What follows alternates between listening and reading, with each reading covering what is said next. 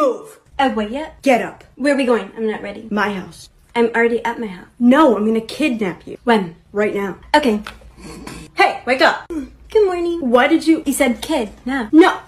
Do you not even care that I broke into your house? Whose house? Yours. Oh, yes, this is my house. You left your front door open. Did you close it when you came in? Uh, yeah. Thank you. I don't want a stranger coming in. Just get up. We're leaving. Leaving for wait yet? We're going To Starbucks? No. Oh, okay. I'll stay then. Don't make me force you. You don't have to force me to go to Starbucks. Let's go. Um, oh, okay. After you. Uh, thanks.